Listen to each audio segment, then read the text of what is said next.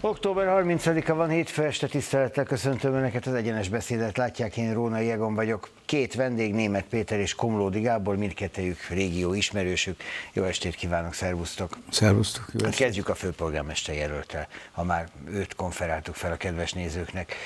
Azt lehet mondani, hogy zavaros élettörténetű úrról van szó, akinek ez most egy friss ötlete, de ő már próbálkozott sok mindennel. Benne volt MSZP-s ügyekben, DK-s balhékban, volt önkormányzati képviselő Szegeden, onnan aztán, hát hogy úgy mondjam, eltanácsolta a közgyűlés.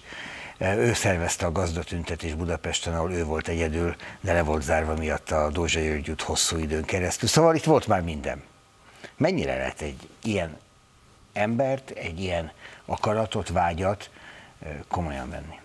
Én pont azt akartam mondani, hogy nyilván ez, az, ez a felütés, hogy legyen az elején valami vidám ebben a műsorban, hogy könnyedebb beszélgetés, mert hát Szabó Bálintot, aki nem akarja, csak az nem ismeri egyébként, hírfogyasztók mindannyian tudják, és nem akarom őt minősíteni, de hát amit te elmondtál itt felvezetésként, az alapján sem lehet őt komolyan venni. Hogy mégis valamiféle zavart tudjon kelteni, azt nyilván megkeresi. Följelentette ő már Botka Lászlót, valahol mindig fel. Volt egy zűrös elrablási Igen, is, volt egy elrablása, és ilyen nem tudták, hogy hol van, keresik. Aztán két nap után előkerült, azt hiszem, ugye, talán két nap után. De lényeg az, hogy én azért nem akarok egy ilyen komoly műsorral, egy ilyen komoly talán emberrel foglalkozni, de rád bízom, hogy, hogy viszed tovább a beszélgetést. Nekem erről az jutott eszembe, hogy amikor a legutolsó főpolgármester választás volt, ott is megjelentek érdekes figurák. És hát ha csak Berki Krisztián önjelöltségére gondolunk, aki itt is járt a stúdióban, és elmondta a kampányterveit, és a megválasztása esetén a későbbi politikai terveit is, ennyi erővel őt is komolyan vehetjük. Az, én azt gondolom, hogy egyfelől valóban a politik, politikai bulvár vagy komédia kategóriába tartozik az az úriember, és én emlékszem valóban erre a riportra, amit az előbb említettél, hogy akkor az volt a performance egyébként, hogy felugrott, és akkor ön elszaladt, mintha megsértődött volna valami. Hát mert hogy ő fradista, én meg igen, és, aztán vagyok, és ezt így nem lehet folytatni. A bulvár média ezt többször ugye elő tudta venni.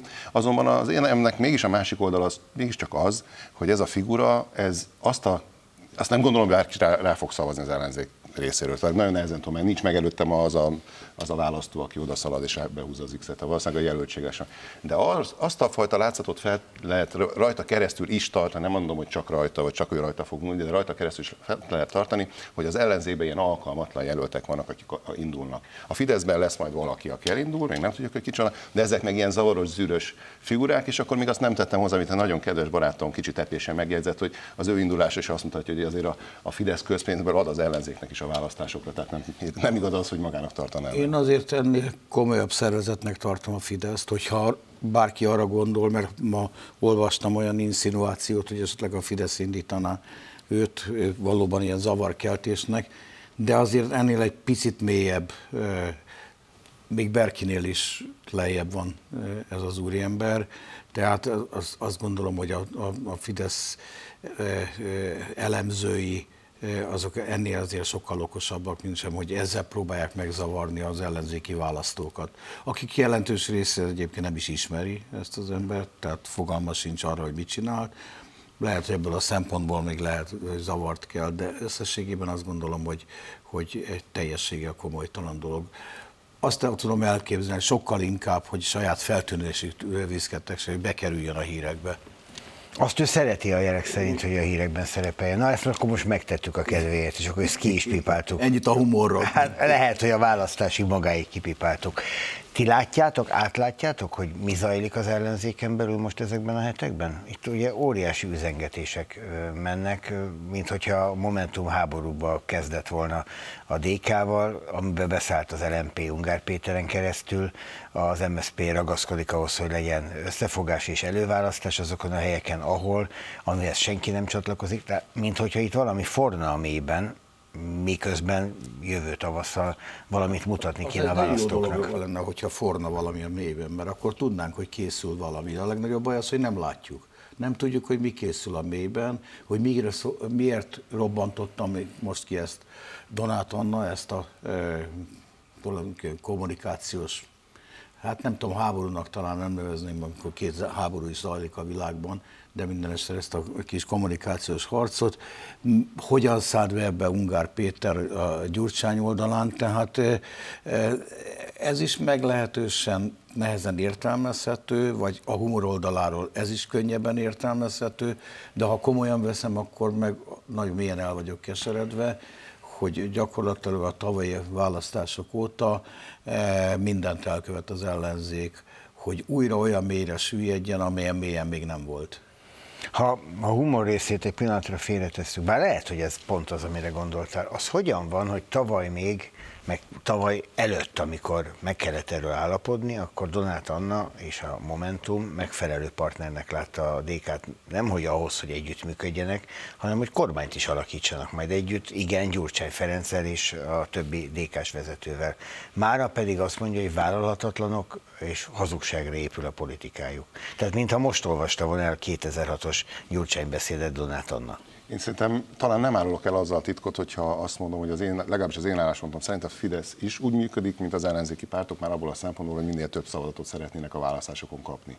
És még ha azt is gondoljuk, és azért van erről egy, egy hitem is, hogy azt ne felejtsük el, hogy azt mondja Ungár Péter ebben a riportban, hogy azért változott meg Gyurcsány Ferenccel a véleményem, mert az legalább demokratikus vagy jogállami rendszer volt. Ugye 24 pontnak adott. Igen, igen.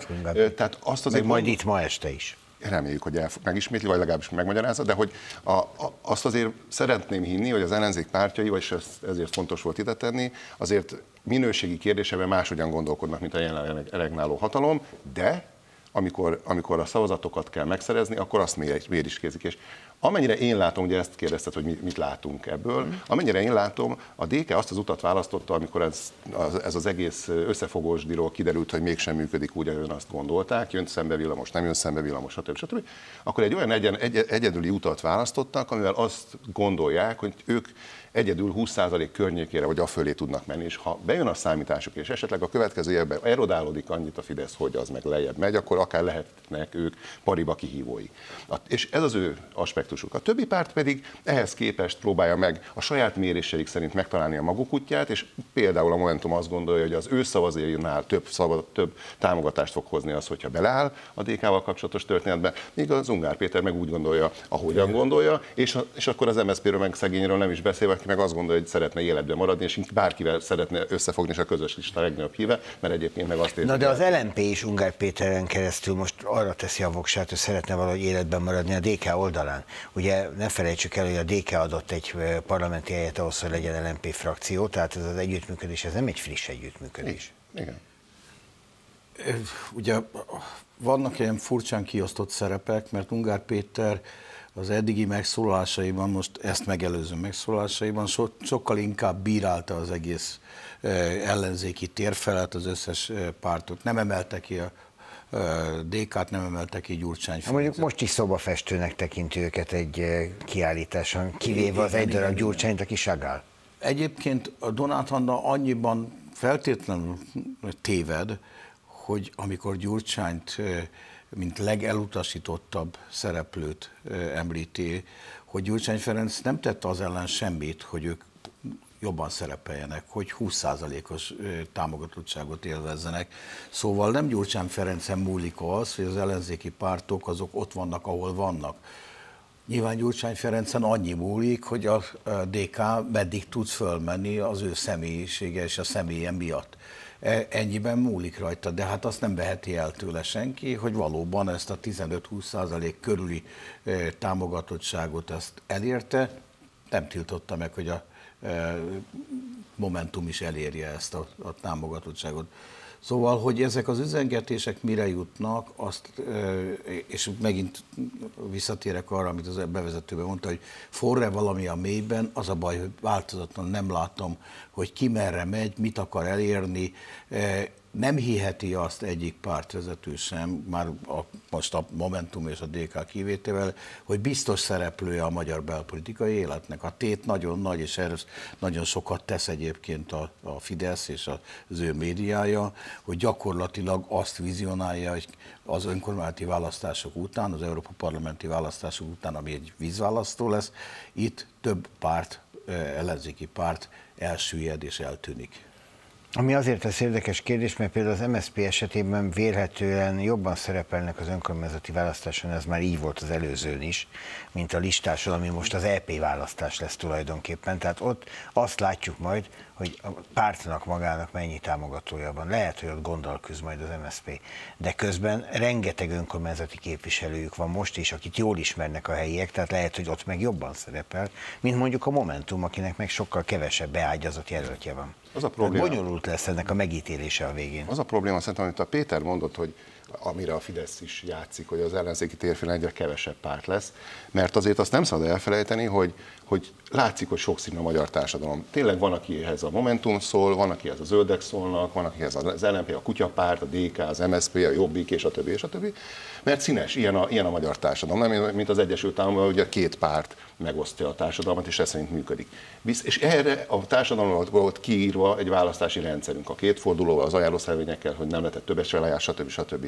Ezt szándékosan alakította át a Fidesz, és addig, amíg vagy nem alakul vissza, arra persze nincsen szándéka a jelenlegi kétharmadnak, vagy nem tud úgy összefogni az ellenzék, hogy egy, egy tömbként tudjon egy tömbbel szemben állni, addig nem tudják leváltani, és ezek a kibeszélések, meg egymásnak támadások, ezek nem segítenek ennek az egész. Igen, ebből, de ebből az is következik, hogy a Fidesznek nem érdeke, hogy megszűnjenek ezek a e, most kicsi pártok, mert akkor abban a pillanatban összetolja az ellenzéki szavazókat.